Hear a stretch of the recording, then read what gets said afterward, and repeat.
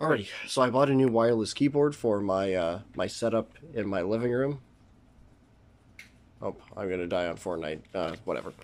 Um, so above all, it's not too. I want to say it's not too bad, but honestly, it's not very good. It's not a very good keyboard. I probably wouldn't recommend it. I'm gonna go over just a couple problems that I've realized just over the couple days that I've had it. First and foremost, the spacebar key is incredibly stupidly designed. So this key, I don't want to take it off because I already did and it's a pain in the butt to get. So basically has a spring here and a spring here and the button is in the middle.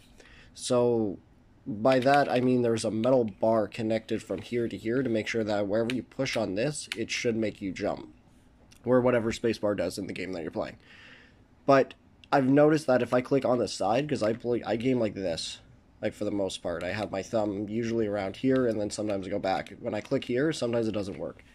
Uh, the keys overall are actually pretty soft, and one of the biggest problems I noticed with this keyboard, which I can demonstrate shortly, or actually I'll probably just game with it and show you guys, um, is this stupid thing will just randomly disconnect. So right now it's working perfectly fine.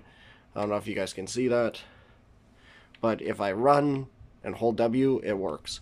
Now, if I let if I stop using this this thing for about let's say 30 seconds, it will disconnect and it will not reconnect unless I turn off the keyboard and wait like 30 seconds and then turn it back on for it to reconnect properly. And so it will constantly just keep going on and off. But I mean, hopefully that's not a huge problem. The keys are set up pretty much like that. So like a normal membrane, they are pretty soft they should be interchangeable with other membrane keys, so anything with that that hold, it should work perfectly fine.